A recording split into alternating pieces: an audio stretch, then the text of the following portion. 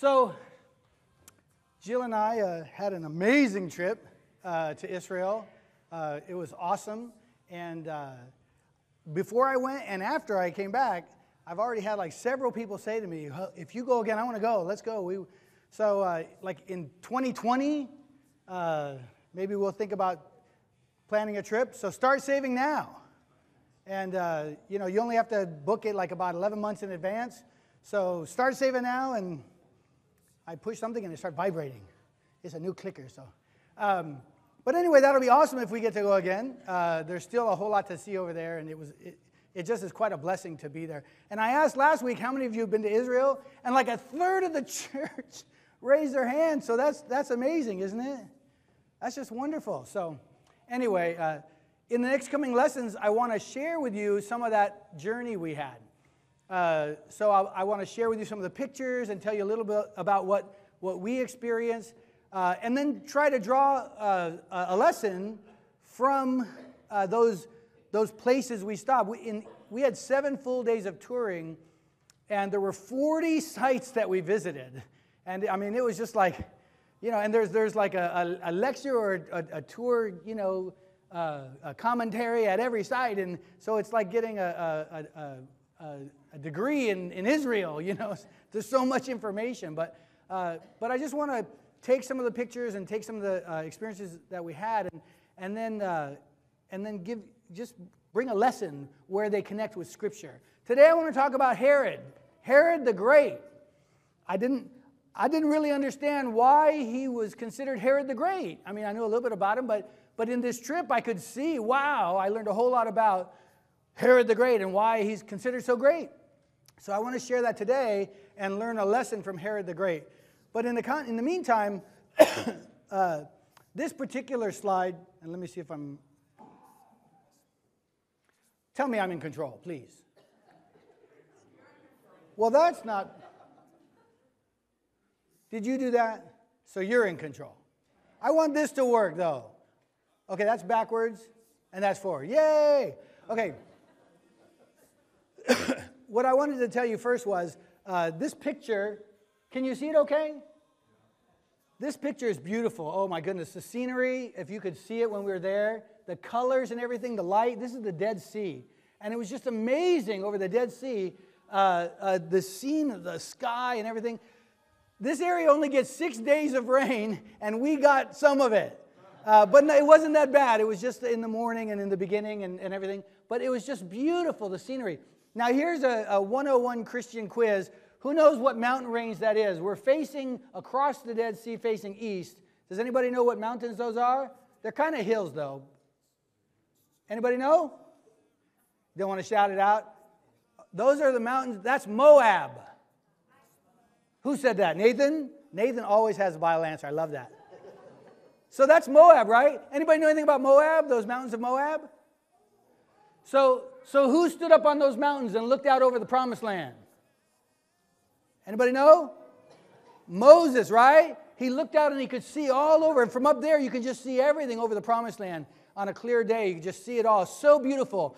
Now, here's the uh, 501 question. Uh, Alex, for a thousand, did Moses ever get to go in the promised land? Yes. Who showed, up, who showed up with Jesus on the Mount of Transfiguration? Oh! See, I got you right. Always check your facts. Uh, anyway, it was, a, it was a beautiful day there. Um, so here you'll see on our trip, you'll see Hannibal Lecter in the top left. That's me. I have my neck thing that Jill got to help sleep in a chair. Uh, uh, noise canceling headphones. Thank you, uh, Kevin Trapp and Andy Smith, for loaning us those. Those were awesome. and I was wearing that mask. Why? Because I was still coughing. And I did not want everyone to be mad at me sitting around uh, getting sick on a plane. So, uh, but there I was enjoying a little bit of sleep. We, we got to sleep. 14 hour flight, three times as much uh, hours on a flight I've ever been. Um, but it was, it was, it was awesome. I mean, it really was fine. Excuse me. Hey, what happened to my picture?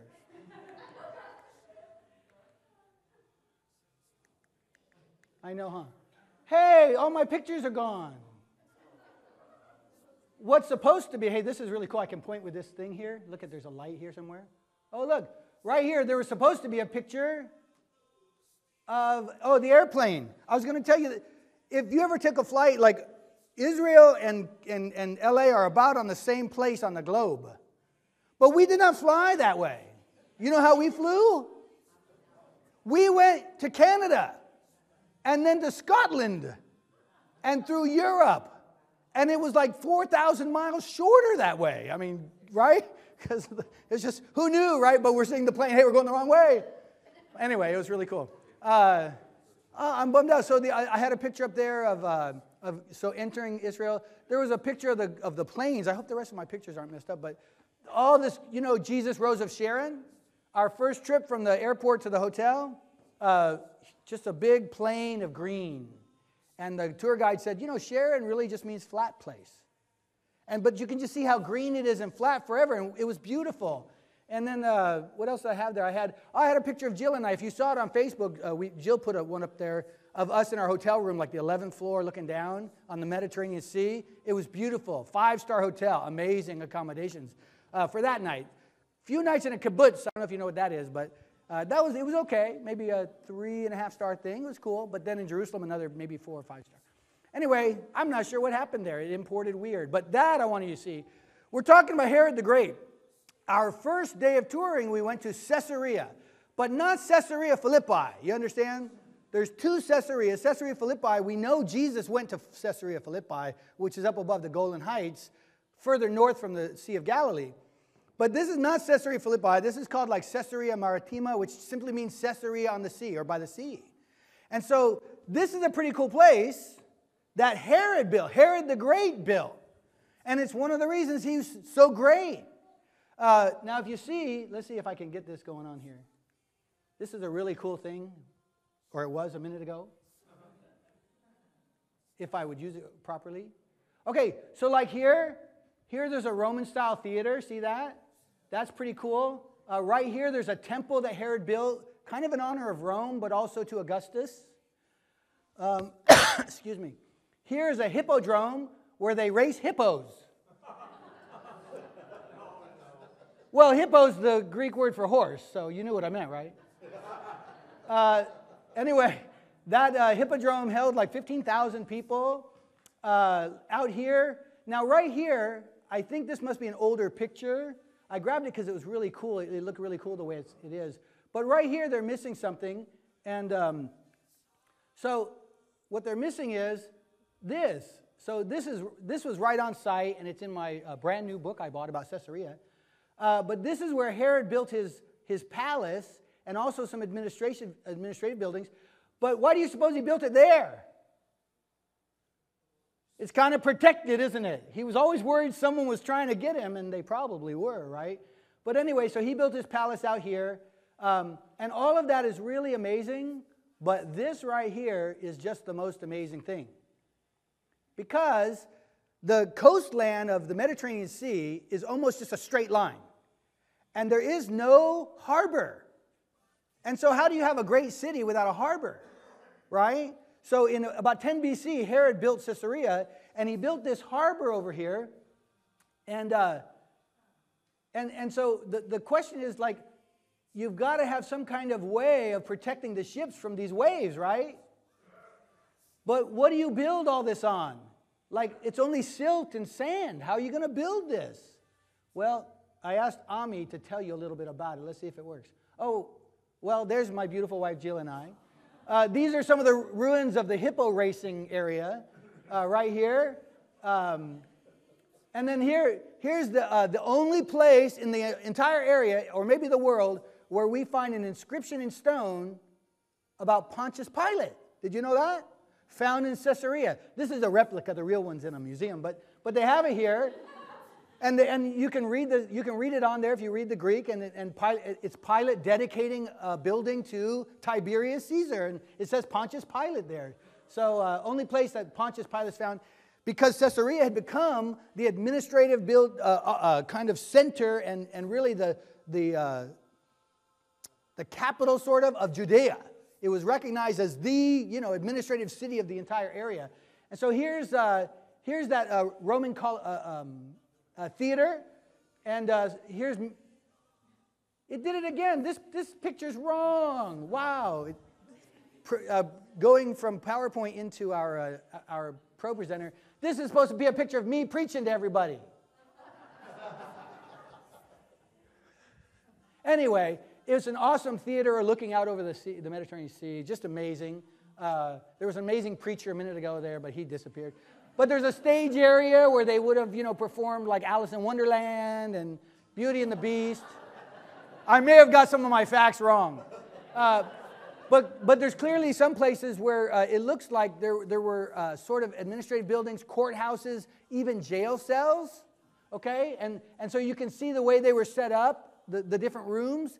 And uh, what we know is, uh, we know Peter spent uh, some time in these jails waiting Herod to kill him, Herod Agrippa I to kill him. There's lots of Herods.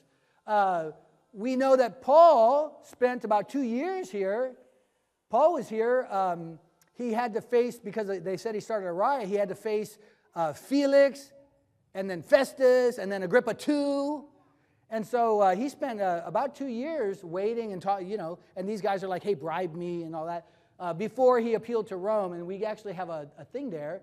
Uh, they, they show the scriptures, and then it says right down here, in 58 AD, the Apostle Paul, accused of having caused a riot, was sent to Caesarea to be tried by the governor.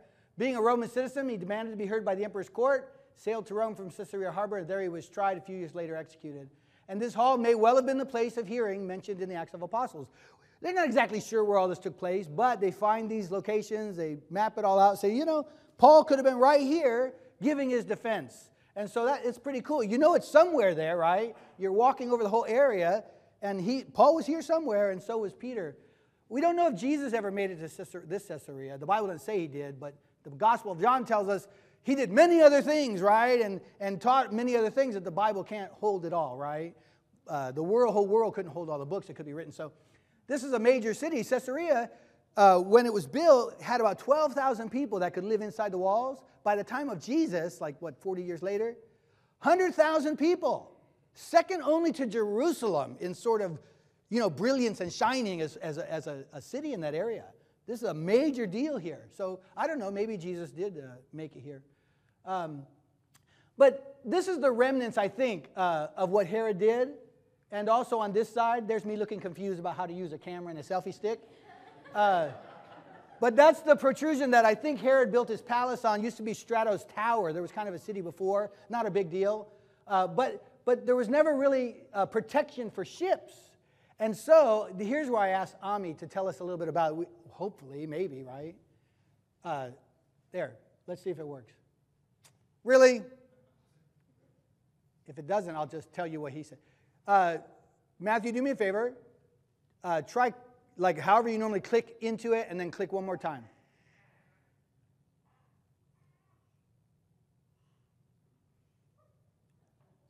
It's not going to start? All right, I'll tell you what he said. Anyway, Ami's really cool. He's really fun, uh, and he knows all of it. I mean, I think he's been doing this for decades and decades. But what he told us there was that Herod, he needed a harbor, right? How do you have big ships come and they used to come and they'd have to put offload the little ships, and then those would come in and they'd be in danger from the waves of turning over and stuff.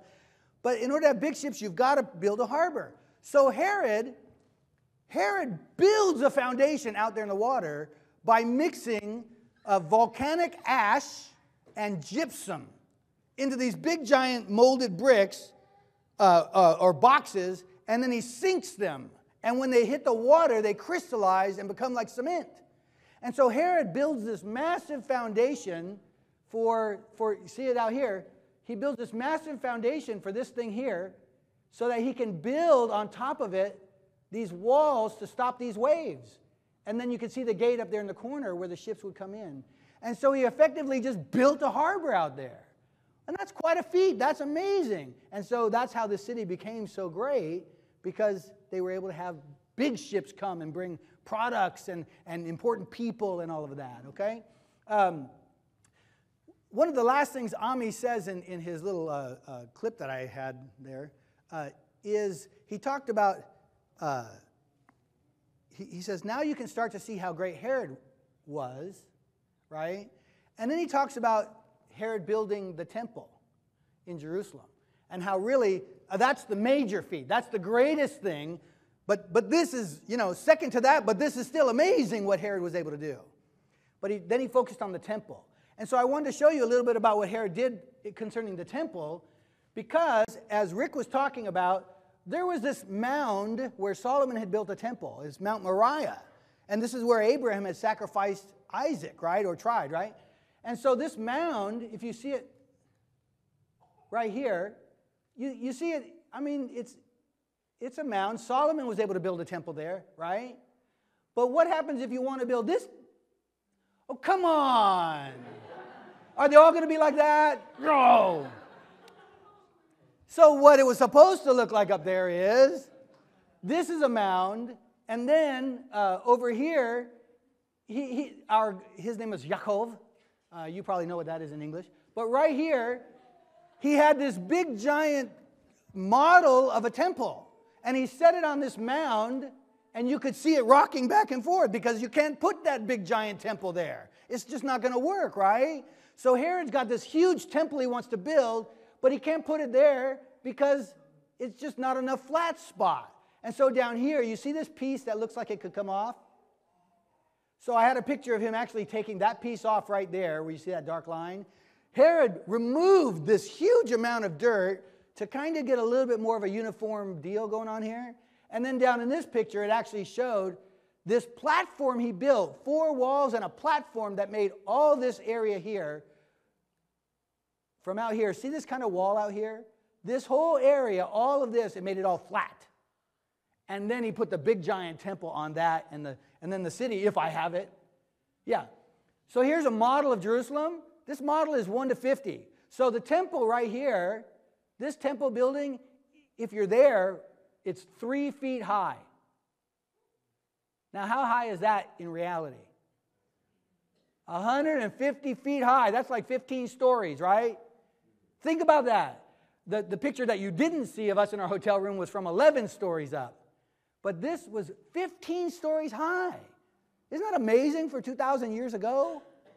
This temple was 15 stories high. And this is a model of the entire city that was able to be built on this flat sort of, you know, area that, that Herod uh, built up. So, so there's the city. So yeah, Herod the Great. Well, why was he great? Because he did these awesome, amazing things. Um, and one other one that I want to point out, this is not really a Bible thing, but it is a great thing that Herod did. Uh, anybody ever hear of Masada? You know about Masada? So, uh, so you can see we're, you know, this is a, we're way up here and we're looking down on the, Red, uh, the Dead Sea.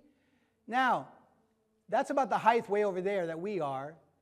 Now, try to guess, you can see how high we are above the Dead Sea. Try to guess how high above sea level we are. Anybody know? Thousand feet? Anybody else? 200 feet? We, we are at sea level. Right here, right here, we are at sea level. because the Dead Sea, the lowest place on the planet, I believe, uh, on land, uh, is 1,300 feet below sea level. So, actually, way up here in this mountain fortress, we're, we're actually at sea level, which is really weird, right? Um, but anyway, this fortress is amazing. Uh, when Rome under Vespasian got you know mad at the Jews in 66 because of their revolt, uh, and then uh, uh his son Titus took over in 70. Uh, they came and just wiped out Jerusalem and the temple and just wiped them out. A lot of people fled, like over a thousand people fled to this temple fortress at Masada, and uh, you have to take these cables to get up there. You can walk this snake path. Well, no, you probably can't. Some of you could, but many of us could not walk that snake path or don't want to. But you take these cables to get way up there, and uh, here's me not using a selfie stick correctly, and I got flack for this. And Jill's going to get mad at me for showing you that I didn't use it correctly because you're not supposed to see the selfie stick, right? But anyway, we're having fun up there on the mountain fortress. Um, here's Jill. Birds just come to her, you know. She's so sweet. Uh, but look at this. Uh, this is supposed to be a different picture. How does it do that? Who would have thought it would do that? Well, at least we have one picture. You know why this floor is like this? They had a suspended floor so you could light a fire and pump heat under there. You could heat up the room from below. Herod really was great in these ways. This is amazing stuff. But I had a bathhouse. It was all designed over here. And, and there, there's just, there's so much to what's going on in this, in this mountain fortress. You just think this guy was a, a genius. He was amazing. And they're pretty cool too. This is just another scene of the ruins, uh, looking out over the Dead Sea. Um, uh, but I just wanted you to get the idea of just how far up there it was, right? Because in 70, uh, after, after the temple, Rome chased these Jews to Masada. And over a thousand of them took refuge up there. And Rome was like, it's all right, we're just going to wait because you have no water. And so the Jews up there were washing their clothes and hanging them out to dry over the wall so all of Rome, you know, the army could see they've got plenty of water. We're going to be here all day. All year. Three years. Because Herod had built this with cisterns for water and grain, and, and they were set. And, uh, and so Rome had to build this siege tower. They had to build this siege tower right here in order to attack the wall and like with fire and stuff and, and, and fight. Excuse me. Sorry. So they had to build a siege tower. And, um, and when it was looking bad for the Jews, um, and this is sad, but rather than being captured by the Romans and become Roman slaves, uh, there's evidence that they actually drew lots. All these names on these little shards, uh, they drew lots, and, and we found these little tiny shards and, and with their names on them and 10 men, or 10 people, I think, yeah, 10 men, uh, were chosen by Lot. And, and when the Romans breached the wall, those 10 men would slaughter their families and everybody, and then fall on their own swords. And they were just going to, that, that's what they would choose rather than become Roman slaves.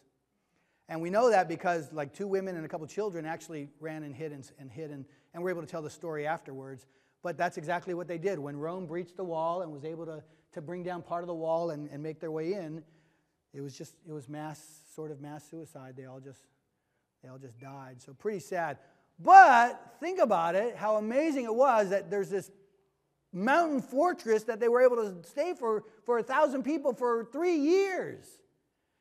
And so, and so I look at, I didn't know all this about Herod. I mean, that's why he was Herod the Great. But is he really Herod the Great? And this is my lesson for you, and it's not long. But I want you to think about this. Because, I mean, he may have looked great to the world, but what does it profit a man to gain the whole world and forfeit his soul? How do we define greatness? That was amazing stuff, and he did more than that. But how do we define greatness? This is also who Herod is, and you knew this, right? You, you know what this is? It's called the Massacre of the Innocents. You remember that story? Here's another picture. And then one more. This is Herod the Great. Do you think that's great? Somebody said, well, you know, Bethlehem maybe had, you know, 20 kids in it. Look, if it's one kid, I mean, what if it's my kid? Is it horrible or not? But it wasn't just Bethlehem. The scripture says when Herod saw that he'd been tricked by the wise men, he became furious and sent and killed all the male children in Bethlehem and where? In all the region who were two years old or under, according to the time he had ascertained for the wise men. He went and killed all the little male children in the, in the whole region. And even if it was just one of mine, it would be Horrible, horror. I mean, I don't even have a word for it, right? Herod the Great. In whose eyes? We know a lot of people who seem really great in our culture. They've done amazing things just like Herod has. And they're revered as, wow, these are really great people. But in whose eyes? We have to ask. We want to be like certain people. Are we sure? Because they're great in whose eyes? And why did Herod do this? Randy, what am I supposed to learn from Herod? Because I'm not going to go out and kill a bunch of kids. Do I really connect here? Yes, I do, because it's not that it's not what he did, but why he did it. Why did Herod kill these babies? Somebody yesterday in the, uh, the conference, the elders' conference, quoted what I was going to quote today. My favorite quote from the movie Rudy. You know what it is? I've learned two things in my life that I'm sure of. You know what it is? There is a God, and I'm not him. Herod did not learn that. Herod did not want to know that. Why did Herod kill those babies? Because a king was being born and he had no room for a king in his life. He wanted to be king. I, I, uh, I love our church sign right now. If you've read it, did you read it? Each one of us is an innkeeper deciding is there room for Jesus or not? Amen? Everybody in the world is an innkeeper having to decide is there room for Jesus? This is where we connect with Herod. He decided there's no room for Jesus. And this is a human condition. It's not just him, it is humanity. In the garden, what was the challenge? Hey, you can be like God in this way. Like, like God's giving you everything. He's giving you paradise. He's giving you all the food and, and, and protection and security and, and love and paradise. Yeah, but you can be like God in a different way. Who's in charge? In Israel, it says, in those days there was no king in Israel. Everyone did what was right in his own eyes. Don't mistake that for everyone did what was right. That's not what it says. Just everyone did whatever they thought was right. And you know what? When it says there's no king in Israel, it wasn't true. It was just true because Israel didn't recognize a king. There was a king in Israel in Samuel, it says, When you came and saw uh, Nahash, the king of Ammonites, came to, against you, you said to me, No, but we want a king to reign over us. What they meant was like King Saul. They meant like they wanted somebody in armor that was big. And, and he says, No. He says, But, but the Lord God is your king. there was no king in Israel, but there was, but you didn't recognize him. That's the human condition. That's the situation we're in. Why can't we be the Lord and kings of our own lives? Why can't we? Because there's a God and I'm not Him. Why can't we? Because spiritually, humanity, we're like two year olds. Now, either you've been a two year old, you have a two year old sibling at some point, or you raise two year olds. Now, if a two year old sets his mind on sticking this hanger in that light socket, and you tell him no or stop him, what are you going to get? You're going to get the furrowed brow. You're going to get the, he, he's going to start saying, or she's going to start saying no to you. Why? Because we want to do what we want to do. A two year old can't possibly imagine how much you, as a parent or even a sibling, provide protection and food and shelter and, and everything necessary for their life. They can't even see it. All they know is, I want to stick this in a light socket and you can't stop me. Anybody ever experienced two year old like that? That's who we are. Apart from Jesus, we are like those two year olds. And so we need a king. There is a God, but I'm not him. We need a king. And so, and so Jesus, he calls us out of this worldly mentality where we have a, the wrong view of what greatness truly is. And he calls his disciples together. He says, You know, the rulers of the Gentiles lord it over them, and their high officials exercise authority over them, but not so with you. That's what the world says is great. That's what the world says is, is power. But he says not to be like that with you. Whoever wants to become great among you must be what? Got to be a servant. You have to, if you want to be great, you have to become a slave. Not flexing your muscle, not I'm in charge, not I'm better than you, not look how great I am. That's not it. That's the way of the world. And so James invites us, if we are if we're not seeing things spiritually, if we found ourselves trying to be our own God and our own Lord and our own King and making our own choices about, about life and ignoring God, but we want to make a change, James says this Submit yourselves then to God. Resist the devil, he'll flee from you. Come near to God, and he'll come near to you. Wash your hands, you sinners. Purify your hearts, you double minded. Grieve, mourn, and wail. Let your laughter change to mourning and your joy to gloom. And do what? This is what we all have to do this is a choice that we have to make to make room for Jesus right here. Every single one of us. Humble yourselves before the Lord, and he will what? That's how you become great. That's how you become great. That's great in, in the, only eyes that really matter in this life. When all is said and done, that's what matters. So that, that's what I learned from King Herod. I learned that in the eyes of the world, amazingly great guy, but he's the one that slaughtered the children. We need a king, and Jesus is the king. So if you want to submit your life to him uh, today, or if you want to make a greater commitment today, we'd love to pray with you about that. We'd love to um, in, encourage you in, in that journey. Uh, if you want to make a response to him in any way, uh, we're going to sing a song, and you're welcome to come up.